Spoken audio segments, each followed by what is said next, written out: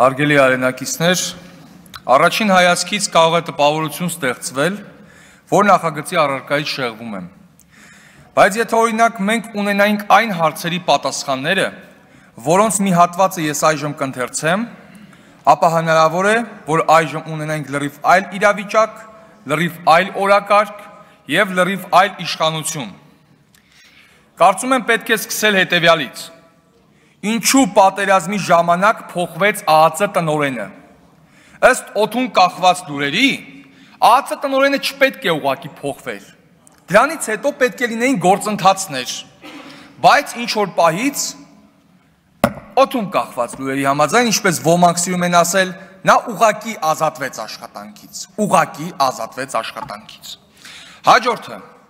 Ինչու պատերազմի 3-րդ օրվանից կասեցվեց մարդկային համալրումը։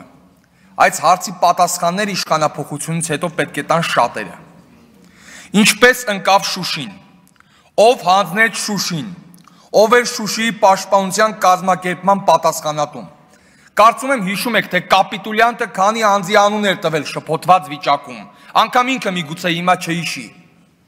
Հաջորդը. Ինչու են քաղաքացիները պատերազմի ընթացքում եւ պատերազմից հետո բարձրաձայնում այն մասին,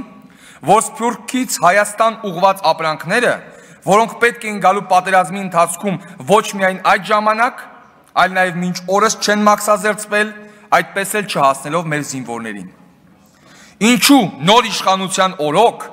ազատ արձակվեցին 2015 թվականին Նորք Մարաշի հայտնի գործով ձերբակալված որոշ անձինք, որոնց նպատակը ըստ տարածվող տեղեկության Հայաստանում հեղաշրջում իրականացնելն էր։ Իդեպ նույն հարցը կարելի է ուղղել 1 տարի անց Սասնա ծռեր խմբավորման գործողություններից հետո իրենց ազատ արձակելու վերաբերյալ։ Ինչու մինչ այժմ բանտարկված չեն ըստ գործող իշխանության իրենց իսկ կողմից ռազմական հեղաշրջման մեջ մեղադրվողները։ Ինչու Իսկանդերի վերաբերյալ հայտարարությունը ոմանց համար ավելի ցավոտ էր, քան Արցախից գալի հատվածի կորուստը եւ մեր տղաների հազարավոր կյանքերը։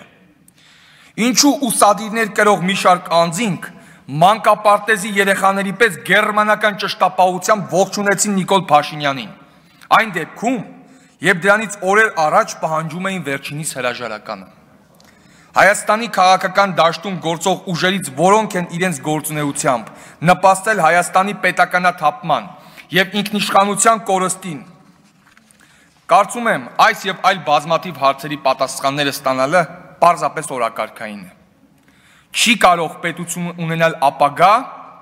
եթե չի բացահայտել անցյալում տեղի ունեցածը, որի պատճառով ունի նման ներկա։ Հայաստանի ինքնիշխանությունը եւ պետականությունը վտանգի տակ է։ Ոմանք փորձելու են մեր ունեցածը վերջնականապես փոշիացնել, բայց կարծում եմ յուրաքանչյուր իրեն հայրգող հայ, յուրաքանչյուրը, ով չի ուրացել Վազգեն Սարգսյանին, Մոնթե Մելքոնյանին եւ այլոց, պետք է իր համար ֆիքսի շատ հստակ օրակարգ։ Հայաստանի ինքնիշխանությունը սակարկման ենթակա չէ։ Հայաստանը ոչ մեկի կցորդը չէ եւ չի դառնալու։ Հայաստանը ոչ ձեր ֆեյք դուխովն է, ոչ էլ ձեր կողմից պարտադրված թուրքովը։ Հայաստանը Վազգենով է, Հայաստանը Մոնթեյով է, Հայաստանը Դեմիրճանով է, Հայաստանը Խելքով է։ Վստահ եմ, որ գիտեք, հանգած եւ գործող հրաբուխների տարբերությունը։ Առաջինը այլևս չի ժայթքի,